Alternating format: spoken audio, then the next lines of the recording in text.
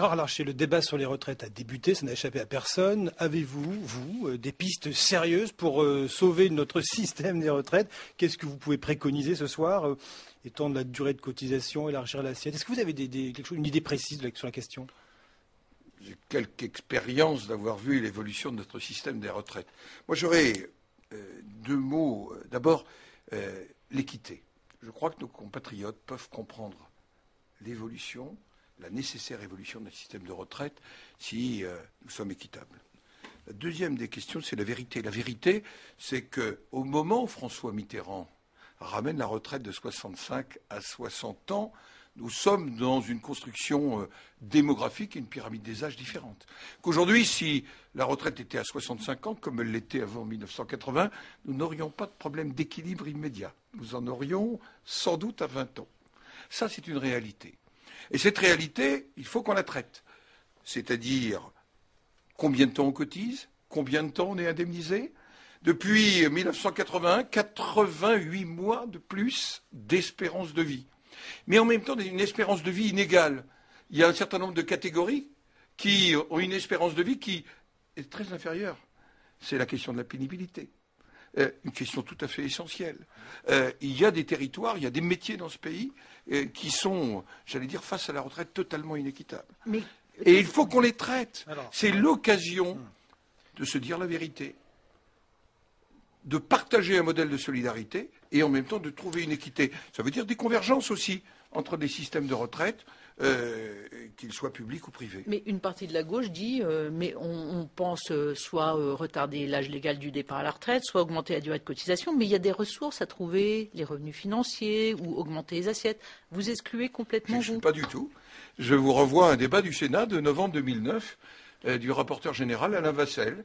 Et je pense qu'en tous les cas, il nous faudra traiter notre dette sociale pour ne pas la faire peser sur la génération de nos enfants. Ce qui veut dire augmenter la CSG si besoin et En tous les cas, la sortir d'un système où euh, elle serait moins portée par ceux qui auraient plus. Et, notamment, euh, c'est la CRDS. Et, la CRDS, euh, c'est réellement la contribution pour la dette sociale. C'est un sujet qui est sur la table au moment du débat des retraites. C'est-à-dire, pour parler Moi, personnellement, on ne s'interdit rien en l'état actuel. Le Sénat déposera euh, le 19 mai prochain un rapport euh, qui dégagera un certain nombre de propositions. Nous aurons un débat public. Et je dois dire que d'ici septembre, nous n'attendrons pas en quelque sorte un texte tout préparé. Autrement dit, pour parler clairement, vous dites qu'il faudra sans doute augmenter la contribution pour rembourser la dette sociale et tout le monde paiera, y compris ceux qui étaient au bouclier fiscal. C'est votre position. tous les cas, je pense que c'est vraiment une vraie question parce que si euh, on n'augmente pas les recettes, et, le président de la République a raison. Euh, en même temps, il y a un troisième sujet. On ne peut pas faire peser plus sur le travail, car il y a une question de compétitivité. Aujourd'hui, le travail, dans notre pays, parce qu'il y a eu le formidable exemple de l'Allemagne, qui a quand même résolu une partie de l'équation. Je déplace progressivement mon départ à tout plein. En même temps, je gèle ma masse salariale, mais je me refuse à licencier au travers d'un chômage partiel qui représente aujourd'hui 2 millions de salariés en Allemagne. Est-ce qu'il ne faut pas non plus méditer cette capacité, pas simplement de dire chacun pour soi, mais de le dire, euh, partageons. et pour partager, il faut que ça touche naturellement. Le chiffon rouge, c'est quand même la possibilité pour les gens qui le veulent de s'en aller à 60 ans. C'est le vrai chiffon rouge. Et sur cette antenne, ce matin, François Hollande, questionné par Alain Le Gouguec, euh, tout d'un coup, euh, Le Gouguec lui demande quand il a commencé à travailler. Hollande dit J'ai commencé à 22 ans. alors l'autre lui dit Mais alors, ça veut dire que vous avez eu bac à 15 Il a dit non à 16 et demi. Et, donc tout d'un coup, il demande à quel moment il, aura fini avec les cotisations et il dit 63 ans. Et alors à ce moment-là, l'intervieweur lui dit mais alors vous arrêtez à ce moment-là? Ben non, un homme politique. Non, un homme politique, ça ne s'arrête jamais comme ça. autrement dit, il faut bien garder l'idée qu'il y a des symboliques forte, et l'une des symboliques très fortes, même si Mitterrand a fait un geste politique qui était un peu démagogique, j'ai bien compris ce que vous avez dit, en 81. dont les conséquences aujourd'hui nous conduisent au déséquilibre. Il faut quand même garder ça comme un droit, parce qu'aujourd'hui les gens sont beaucoup plus excités à défendre leurs droits qu'à honorer leurs devoirs. Je suis, ah, attendez, je suis d'accord pour conjuguer ce droit, moi dans ma réflexion personnelle, mais il faut qu'on fasse très attention à un point qu'on n'a pas abordé ensemble. C'est que c'est devenu un signal pour dégager les seniors dans notre pays. Et faisons attention, parce que quand vous mettez 60, on a pendant des années imaginé des pré-retraites à 55. Et on s'est privé de forces vives, pleines d'expérience. Vous ne pouvez pas résoudre cette équation en continuant à faire croire que parce que vous faites partir les plus de 55 ans, vous faites entrer les jeunes. Ça, je peux vous dire d'expérience et pour avoir tenté un plan senior.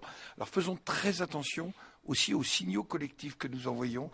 Rien n'est pire que de continuer à semer de l'illusion. Je crois que nos concitoyens, quand ils se réfugient dans d'autres votes, c'est qu'ils ne croient plus dans les hommes et les femmes qui ont la responsabilité de l'alternance. Vous supprimez la barre symbolique? Je ne suis pas certain que ce soit la bonne approche. Euh, je pense qu'en tous les cas, nous n'échapperons pas à la durée des cotisations.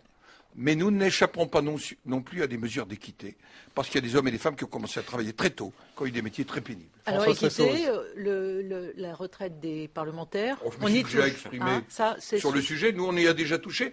Et d'ailleurs, euh, c'était à la suite de l'audit, euh, à la suite de mon élection, puisque j'ai même appliqué quelque chose que le président de la République a dit qu'il n'appliquerait pas. J'ai augmenté les cotisations de 8,25 des parlementaires au 1er janvier dernier. le personnel du Sénat. Ah, vous avez augmenté la pression fiscale ou? Euh, J'ai augmenté. Écoutez, moi je suis un homme qui essaye de savoir qu'est-ce qui va se passer en 2040. Et notamment pour les personnels du Sénat, j'ai même un objectif. C'est que celui qui rentre aujourd'hui, dans notre système, qui est un mélange de répartition et de capitalisation, de lui garantir une retraite.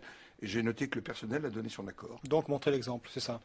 Oui. Et nous devrons nous appliquer ce qui sera décidé collectivement, parce que nous sommes aussi des citoyens comme les autres.